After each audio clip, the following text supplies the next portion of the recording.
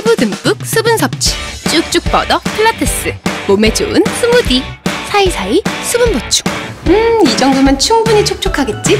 수분을 채웠으면 지켜줘야지.